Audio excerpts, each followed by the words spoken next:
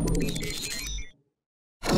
Hey, welcome back everyone. I'm Dronetek, and if you enjoy my content, I request that you go ahead and hit that like button and subscribe. Today we have a clip from a Zoom meeting panel of Democrat state propagandists trying to normalize the idea that the press doesn't hold Democrats accountable and shouldn't. It's already pretty normal as far as I'm concerned, and I'm sure that's the case with most of you.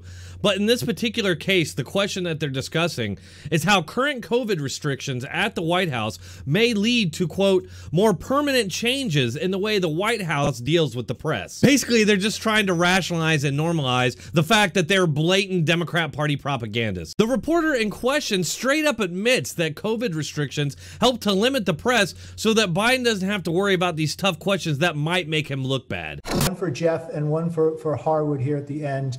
Jeff, just are you concerned about um, COVID res- restrictions that are reasonable during COVID, leading to uh, per- more permanent uh, changes in the way that the White House uh, allows us to cover them? Yeah, in, in addition to the sort of spacing and access issues, we also have this new issue now where the White House is uh, making outlets pay for the cost of the COVID test. Yeah. So before I can ever cross, cross the threshold of the security gate. I have to get a COVID test um, that costs somewhere in the $180 range. NBC pays that for all the people who work for NBC, but there's some outlets um, who, you know, which probably couldn't, smaller outlets and certainly freelancers um, right. who would have to assume that cost on their own. So that is in its own way um, prohibitive. But I think one of the things that people didn't get a good enough sense of, and this was certainly the case during the transition, was that the COVID restrictions allowed the Biden team to really limit the reporters who were brought into those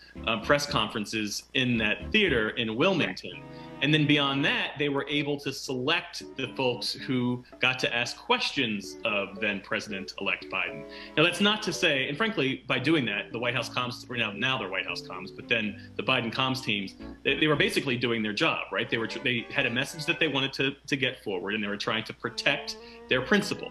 Um, they didn't know the questions that we were going to ask, but they certainly knew who we were. All of the reporters were known quantities, so there was no chance that they were going to call on, you know, some local reporter from some unnamed newspaper who was going to ask uh, Joe Biden a potentially uh, difficult or uncomfortable question.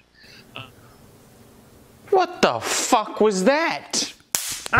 Didn't know the questions that we were going to ask, but they certainly knew who we were. All of the reporters were known quantities, so there was no chance that they were going to call on you know, some local reporter from some unnamed newspaper who was going to ask uh, Joe Biden a potentially uh, difficult or uncomfortable question. Right. Another way of saying that might be that Democrat operatives in the media prefer not to have to deal with independent reporters because they might ask questions that they would rather bury. Not much else to say about this one, but I wanted to show you all this video so you could share it and just give another example of why people need to turn off their TVs. I do also want to remind everybody that tonight at 9 p.m. Eastern, we'll be having our weekly Discord live stream chat.